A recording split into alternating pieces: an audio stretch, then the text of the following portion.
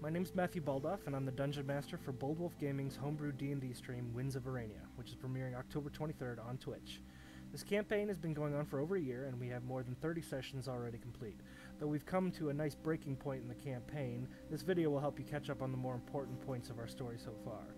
If you want a more detailed accounting of the first two acts, you can check out the Road So Far link below, or in the About section if you're watching this on Twitch, where I've tried to boil the first two acts into bullet points. If you really like reading, you can check all of the recaps for our first 37 sessions and follow along with the story. Um, and that is also where you'll be able to see all of our recaps going forward if you miss any episodes.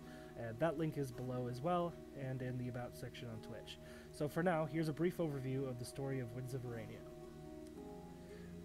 When our story began, Malcolm, Mira, Zuko, and Octavia, and a small host of other characters, woke up on the airship Vestige with no memory of who they were or why they were there. they were only able to learn a few things besides their names before the airship was attacked by rocks and crashed in a remote part of Palhas province. They were smugglers by trade, currently on a mission to bring a strange ancient stone tablet to the premier thieves guild of the region. There was a stowaway on board, and one of them was not part of the ship's regular complement. They later discovered that the man that they thought was Emmett was actually named Jesper Forsyth, a member of some strange cult, and most likely the man re- uh, responsible for erasing their memories. They shot him and left him for dead. Unfortunately, that was not the end of him. Act 1 was making their way from the backwoods town of uh, White Bluff to Palhas City on foot, along the way making new friends, powerful allies, and a couple lovers as well. All the while, they were trying to learn what had happened to them and why as well as trying to stay a step ahead of the strange cult that Jesper was a part of. They learned that the gods were aware of some pending disaster that the forlorn smugglers would be responsible for stopping, and were rooting for them in their own way. Meanwhile, uncomfortable pieces of their personal histories began to fall into place. Octavia was kidnapped by none other than Jesper, who had risen from the dead after being killed by Malcolm. The party then found Alaric, a farmer turned assassin bent on revenge for his dead wife, who seemed to be directed into their path by the gods to replace Octavia. In Act 2, the party finally arrived in Palhas City and begrudgingly handed over the strange artifact that may have been the cause of all their troubles. But they were directed by an old friend in the guild, Sebastian Braun, to where they might be able to recover their memories. Short time later, they were abducted by agents of a secret order that warned them they had now handed three of these artifacts to the, very same cult they were trying to avoid.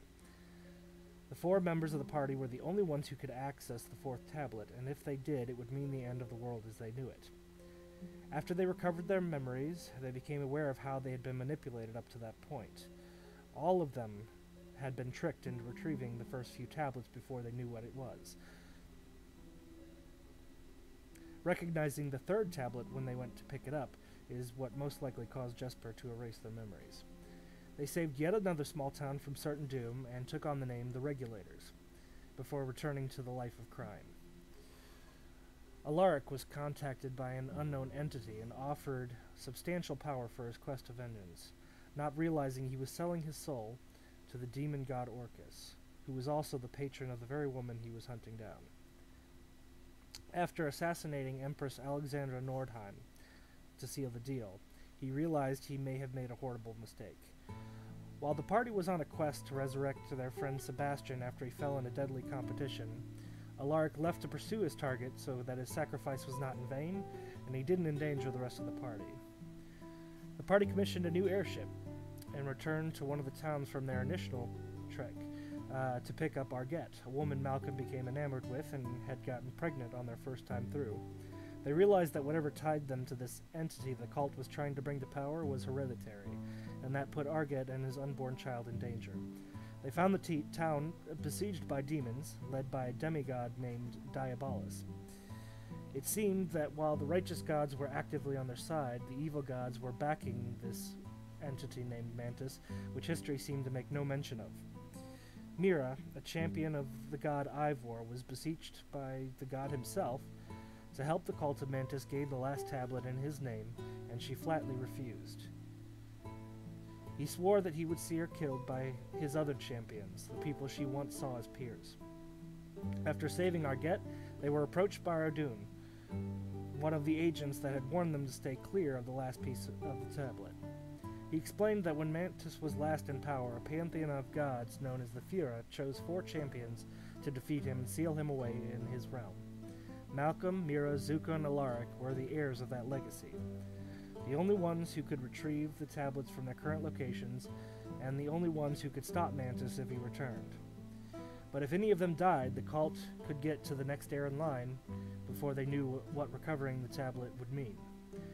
However, while he was unable to recover the first three tablets from the cult, he had a place that the last piece could be taken and never touched again by heirs like themselves or anyone else. They followed Ardun to the castle of Clismere the Undying, one of Malcolm's ancestors, to retrieve the last tablet. When they arrived, they found Alaric, who had made another deal with Orcus. In exchange for resurrecting his wife, Orcus wanted Alaric to get the last tablet piece and kill the other heirs. He regretfully engaged in combat with his former friends and allies, and was ultimately killed. Before he passed, Malcolm gave him a powerful religious artifact that cleared his soul of his debt to Orcus and allowed him to meet his wife in the afterlife. They also discovered the remains of Octavia and witnessed her last moments, bravely giving her life rather than giving in to Jesper's demands. When they returned to Palhas City, and Ardun was prepared to take the tablet to its final resting place, the cult made one last attempt at stealing it. They engaged in a violent tug of war over the tablet, with Ardun sacrificing himself and his own fireball to help. In the end, the regulators were triumphant. Jesper was killed for good this time, and the tablet was sealed away, ending the threat of Mantis forever. As Act 3 begins, the regulators have a chance to breathe and bury their dead. But, this, but the story isn't over. Orcus still has physical form on the mortal realm, and is now free to pursue his own goals over that of his master, who will never return.